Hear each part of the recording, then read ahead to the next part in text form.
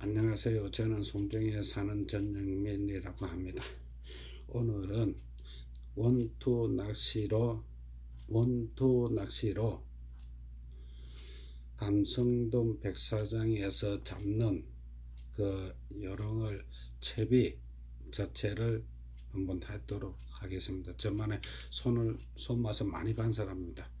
뭐 농어도 그렇고 뭐 이리저리 뭐 가진 고기는 좀 많이 잡아봤습니다.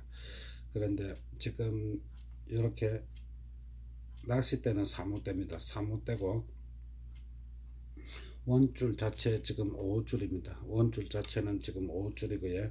그리고 사전에 사전에 내가 추를 먼저 넣었습니다. 추를 먼저 넣고 그 다음 제 찌고물을 넣었습니다. 저 보이시죠? 자, 잠시 추를 내 왼쪽 손에 금지고 요 오른손 아요 지금 오른손으로 찌 자체 내에서 설명을 좀 하도록 합니다. 요 지금 요게 우리가 원줄을 매고 나서 지금 요 도르래에 도르래에 원줄을 맸잖아요. 도르래에 원줄을 맸으면은 그러면은 이게 추가 먼저 들어갔고 그 다음 째 찌고무가 두 번째로 들어갔었습니다. 그럼 여기에서 매주는 상태가 매주 매주잖아요. 원줄 자체를 지금 구멍 속에 들어가서 지금 매주가 있습니다. 그렇죠? 그런데 짜투리를 바로 자르지 마시고요. 짜투리를 요 고무 통과로 찌고무 통과로 바로 열로 내주세요. 열로 내주시고 뭐 얼마나 내주시든지 요까지 내주시고 나서 여기서 선팅을 해 주셔야 됩니다. 요 위에 끝머리에서요. 그러면은 이거 내가 충격을 줘보겠습니다. 충격을 주게 되면은 이거 자체는 충격이 있습니다. 여기 만약에 예를 들어서 찌고물을 사용을 안 했을 때 이야기를 해 드리겠습니다. 찌고물을 사용을 안 했을 때 이 추가 내려와가 그죠? 추가 내려와 가지고 찌고물을 안 냈다 하면은 여기에서 몇 번 이 추가 이 추가 내려와 가지고 몇 번 실랑이를 하다가 이래 보면은 여기에서 이게 자꾸 사용을 하다 보면은 여기에서 자꾸 이 때려 뽑기는 이 원줄 자체를 때려 봅니다. 그죠? 찌고물 안 냈을 때 그러면 나중에 이게 딱총 맞습니다. 여러분 여기에서 딱총 맞게 되가 있습니다. 그래서 이 딱총을 안 맞기 위해서는 딱총을 안 맞기 위해서 요 지금 이렇게 고무를 연한 겁니다. 고무를 연한 기고요. 그리고 보레밀 잡을 때도 내나 역시 이 채비로 하는 겁니다. 보레밀 잡을 때도 보레밀 잡을 때도 역시 이 채비로 그렇게 하는 겁니다. 그리고 원줄에서 지금 감성돈 잡는 채비를 지금 여러분들께 지금 가르쳐 드리고 있는데 지금 원줄에서 요 구멍을 요 사진에 구멍을 하나 집었습니다. 구멍이 굉장히 예쁘장에 나왔죠. 자, 잘 보이십니까?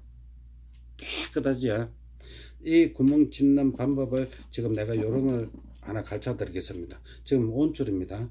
원줄인데 이거 자체를 동그라미 울러지시면 안 됩니다.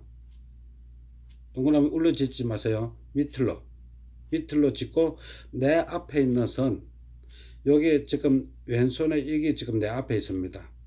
내 앞에 있는 손을 내 얼굴 쪽에 지금 돌려주세요. 내 얼굴 쪽으로 이렇게 위에 있는 선을 갖다가 돌려주세요. 밑에 있는 거 돌려주면 안 됩니다.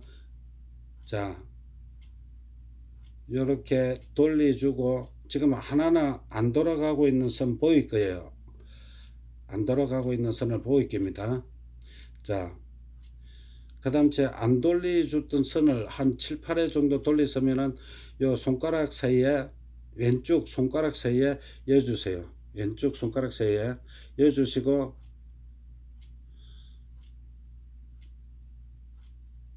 왼쪽 손가락 사이에 이렇게 딱 넣어주시고 여러분들 잘 보세요. 이렇게 이렇게 뭉끼고 들어갑니다. 이렇게 자 손을 떼 보겠습니다. 자 이렇게 뭉끼고 들어갑니다.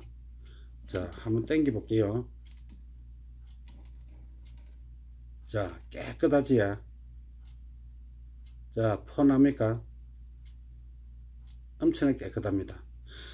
자, 요 자리를 지금 현재 이렇게 묶인 자리를 그러면 낚시점에 가가지고 바늘 한 8개짜리 정도 문기가 있는 거 파는 거 있을 겁니다. 그러면은 그거 줄이 좀 길기 때문에 다 자르고 이 위에 요 구멍에 이어줄 자리를 이 구멍에 이어줄 자리를 한 100 이상 만 하세요. 밑에 바늘 까진 100 이상입니다. 저는 좀 길게 잡았습니다. 여러분들 설명하기 좋도록 이렇게 구멍을 양 사이즈로 이렇게 이어주세요. 구멍을 양 사이즈로 이렇게 이어주시고 나면은 이렇게 이어주시고 나면은 그러면 밑에 있던 이 애를 바늘 지금 맺은 상태를 이렇게 지금 끌고 들어오세요. 이렇게 요 끌고 들어오면은 이렇게 빠지 빠지잖아요. 그러면 여기서 손을 한번 떼보겠습니다. 자, 여러분, 자, 자, 잘 보이십니까? 자, 요거는 지금 홀치기지 맹거는 아닙니다. 맹거는 아닌데 홀치기입니다. 자, 이거를 다시 빼보겠습니다. 여러분들 만약에 바늘이 좀 크다 이래 할 때는 요거를 다시 빼도 됩니다. 요거를 다시 빼주고 사용을 하시면 다른 바늘로 여서 또 갈아줄 수가 있어요. 여서 이게 빼버리 보면은 이렇게 빠지고 나면은 자 여러분 이렇게 빠지잖아요. 자 빠지고 다른 바늘 큰 바늘 해보겠다 이라 하면은 그럼 큰 바늘 가셔 가지고 내가 이렇게 금방 그 식으로 달면 되고요. 그리고 요번 여기 자체가 여기 자체가 지금 뭉긴 게 아닙니다. 뭉긴 게 아니고 요거 자체를 한번 풀어 보겠습니다 자 지직하고 풀리는 소리 나지? 자 요거 자체는 자 풀립니다. 자 풀리습니다. 요렇게 채비를 요 밑에 단계 보면은 미리 사전에 지금 하나는 풀렸지만은 요 밑 사전에 또 하나 묶인 게 이렇게 있을 겁니다. 요거 자체는 지금 어느 채비에 대가 있냐면은 우리가 저 보레밀 잡는 그 채비에 보면은 보레밀 잡는 그 채비에 보면은 요거를 비할 수가 있습니다. 보레밀 잡는 카드 채비에 보면은 이 내면치로 일식으로 비울 수가 있습니다. 여러분들 잔디 보시고 그렇게 이, 이거는 백사장에서 하는 거는 이거는 하루 종일 가지고 놀 수가 있습니다. 추 하나만 하면은 잘 던지면은 여러분들 그렇게 가지고 놀 수가 있다는 거를 저 또 이걸로 감성돔을 많이 잡아본 사람이고 백사장에서 많이 재미를 본 사람입니다. 여러분들도 이렇게 한번 한번 해보시면은 참 재미가 날 겁니다.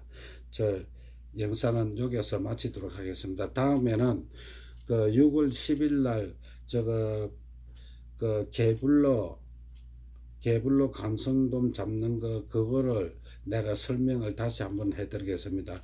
그 앞에 닭거리 들어왔는데 내 같으면은 나는 내가 그렇게 채비를 쓴다 그 내가 쓰는 방법을 여러분들께 그 내가 영상을 한번 올린 적이 있는데 그 영상 자체 내에서 다음에 한번 다른 내나 원줄에 내가 쓰는 거는 쓰는데 여러분들 내가 간단하게 바늘 한 개로 바늘 한 개로 간성돔 잡는 개불로 감성돔 잡는 거를 내가 영상을 한번 올리도록 하겠습니다. 오늘 영상은 여기서 마치도록 하겠습니다.